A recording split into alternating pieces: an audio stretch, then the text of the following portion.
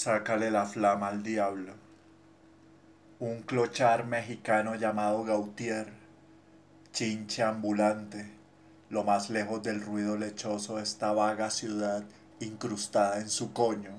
como mosca ladeándose en la orilla de un sope, su botella, dormida y soñándose, un frío de la gran puta, toda ilusión destrozada, pero él sueña y lo hace de veras,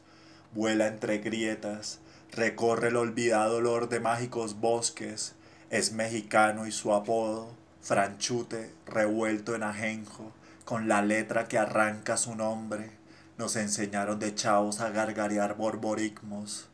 Hoy la luz de Lucifer de los otros se le escama, se hunde glugluteante, se resbala y se pela. Él se rasca rebotando en sí mismo, no hay banca de parque ni ojos de hada que le den albergue o sustento. Es un chingón de los buenos, muerto sí, pero en vida,